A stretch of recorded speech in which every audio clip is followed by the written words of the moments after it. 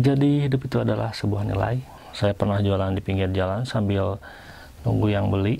Tadinya saya itu bekerja di salah satu perusahaan. Kemudian saya memutuskan untuk menjadi pedagang karena ada yang bilang bahwa kerja itu naik levelnya jadi pedagang. Dan saya akhirnya memutuskan resign kerja dan menjadi pedagang. Setelah selang beberapa hari, saya jualan. Niatnya jualan itu pengen banyak uang, siapa tahu aja bisa kaya gitu ya. Hehehe. Dengan keseharian yang monoton, nggak tahu kapan saya kayaknya. Suatu hari saya melihat ada kakek kayak di jalan. Dia itu udah tua ya, uh, uangnya banyak, tapi sakit-sakitan gitu. Berbanding kebalik dengan saya, saya itu masih muda, masih sehat gitu. Tapi saya keseharian saya monoton.